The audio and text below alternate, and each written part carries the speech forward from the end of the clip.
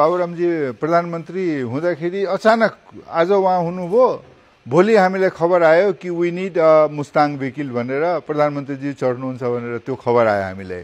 हामी यस्तो अचम्बित भयौँ कि यो यो हाउ इट इज पोसिबल तर फेरि भएको होइन इट इज कन्फर्म यो उहाँलाई गाडी सहीमा मागेको उहाँले उहाँले चढ्ने नै हो भनेर।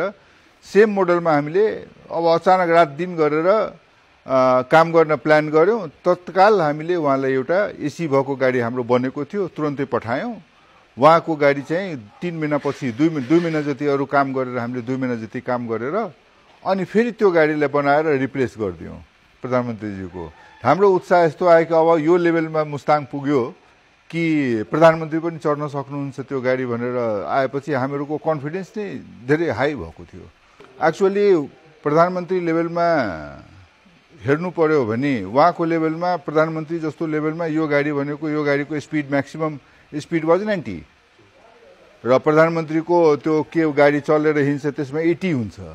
त एटी र यसको म्याक्सिमम् स्पिड इज नाइन्टी त यो गाडी कम्फर्टेबल त उहाँलाई हुँदैन। त त्यो भनेको यो त्यो थियो तर उहाँको चाहना थियो कि म आफ्नो स्वदेशी गाडी नै उत्पादन गर्छु। कुनै बेला उहाँ गोर्खा जाँदा मुस्ताङ चढ्नु भएको रहेछ। त्यो एक्सपिरियन्सले उहाँ भन्नुभयो होइन देशमा गाडी बन्छ भने म देशमै चढ देशकै गाडी चढ्छु भनेर उहाँले चढेको हो। त यो गाडीको स्पिड र उहाँको एक्चुअली प्रधानमन्त्रीहरूको जुन लेभल छ त्यो लेभलको गाडी यो एक्चुअली थिएन।